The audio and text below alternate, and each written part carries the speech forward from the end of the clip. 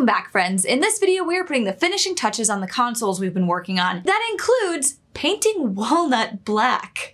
I know, that sounds crazy, but it looked really stinking good. And right before delivery, Davis has a breakdown and gets caught in a trap that a lot of younger beginner woodworkers fall into. You'll want to hear how he pulled himself out of that. And finally, we deliver the two consoles. They turned out so good. I can't wait for you to see them. Let's go. We're Jennie and Davis. We fly through hurricanes for research and build furniture for fun. A while ago, we came up with a business plan to sell quality furniture which brings people together. Follow along as we build our business empire. Empire? Yes, Jennie, big goals. Okay, we're starting an empire. Maybe one day it'll span beyond the garage.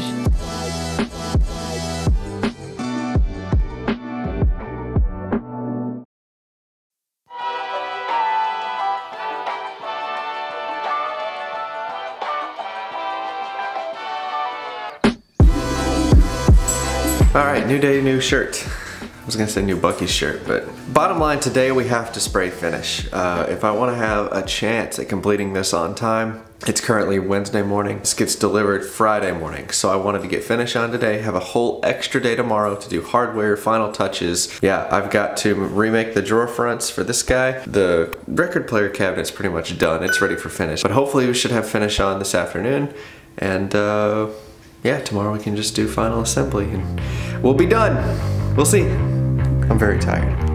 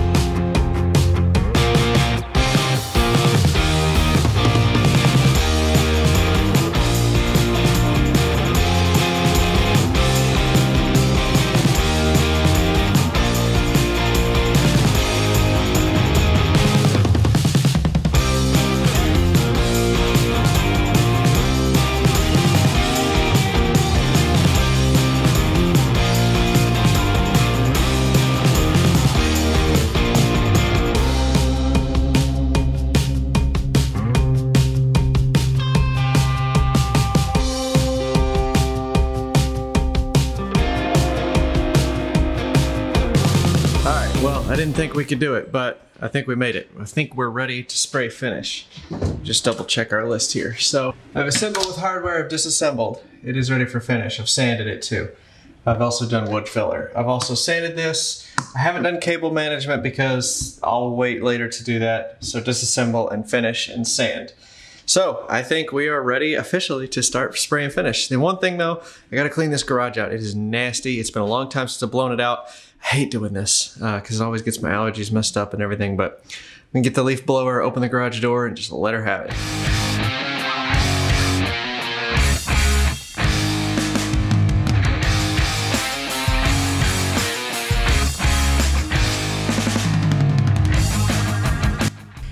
All right well, uh, just got done spraying the clear finish on all these cabinets and their doors and everything, and man, this thing is starting to look good. But there was a minute there, just in the last 10, 15 minutes, I fell into the same trap that a lot of us fall into, and I just kept saying, I can make it better, I can make it better, I can make it better.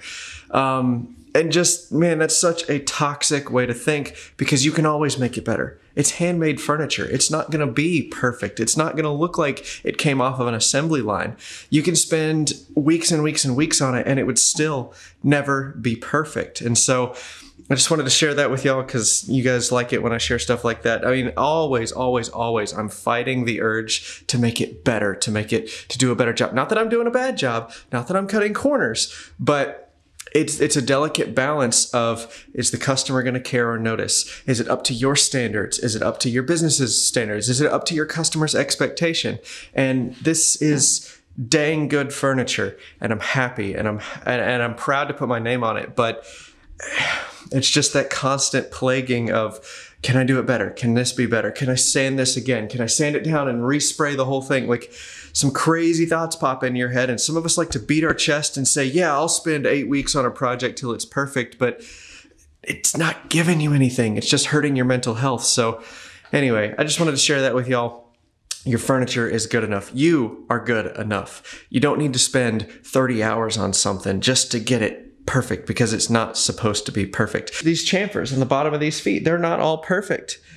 They don't look perfect. They shouldn't look perfect. They're there, and it's just part of the story of the furniture. And your customers should be caring a lot more about that than they are about perfectly production pieced uh, furniture. If, if that's what they're after, tell them to go to IKEA because that's not what you make. You got to find the right customers. So I know these guys are going to be more than happy to take delivery of this furniture because they hired us. Yeah, we build furniture and yeah, that's what we're giving them, but what they really wanted was to help support us and help us with our dream of building a furniture business.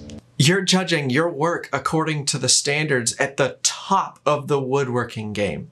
And you don't realize that the quality of your work, even as a moderately experienced woodworker, is so much closer to their quality of work, Matt Cremona's, the Mark Spagnolos, the, the Stumpy Nubs, the Johnny Brooks, than it is to Ashley or IKEA or the other furniture manufacturers. And yet we're all wringing our hands over charging the same price that Ashley and IKEA do. The old guys in the comments, they rake us over the coals all the time because we're relatively inexperienced, but yet we're pretty decent salespeople. They think that your skill as a woodworker is directly related to your ability to sell and what price you should charge. And those two things are not related. Please go watch our Maker's Money videos if you're confused on that. So how do you tell when something is good enough and pull yourself off of it?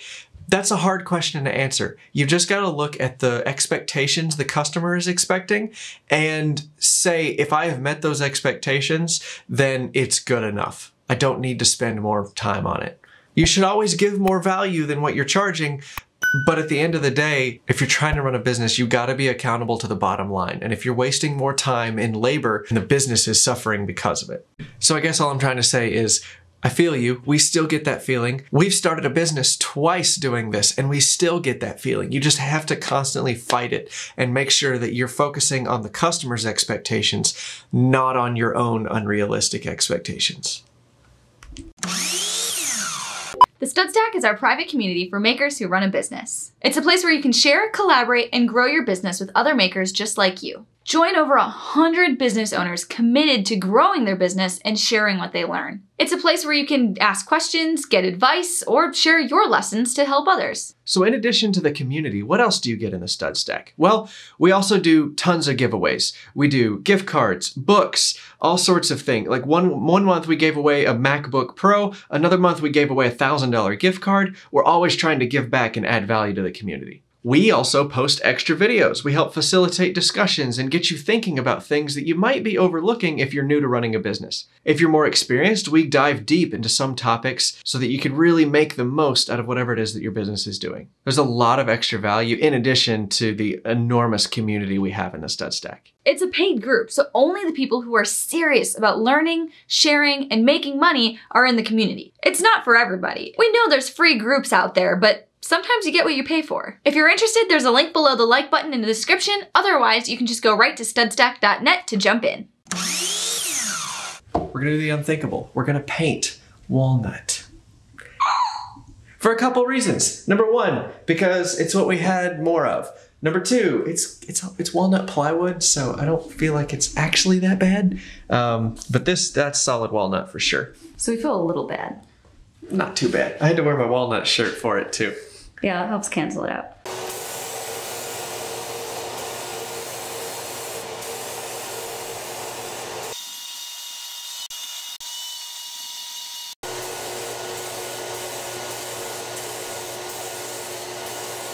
Well, I've officially lost my woodworking license.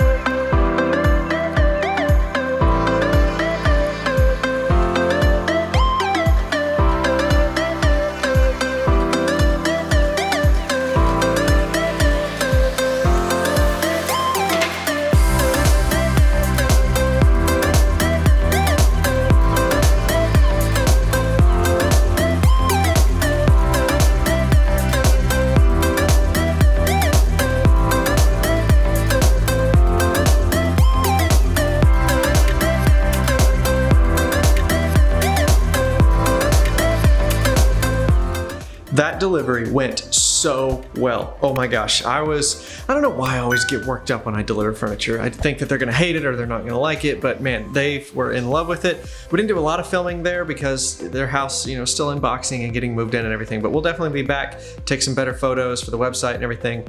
Um, yeah, we're just super happy to get this one on the books, especially because it's the first time we've ever made anything uh, publicly, like modern style. So people can see more than just farmhouse style stuff, which is starting to go by the wayside, even in Houston. So uh, the only thing we have to do is when we move the doors back and inset them into the cabinet some more, I never went back and adjusted the size of the shelves. So I got to cut the shelves to size. Um, they were totally cool with that. So I got to fix that, edge band those, refinish them, and come back to their house again. So um, really excited that we got this project done, completed, and finished. It turned out so nice. This furniture looks so good. I did not want to load it up and give it away. But anyway, uh, super excited. And yeah, man.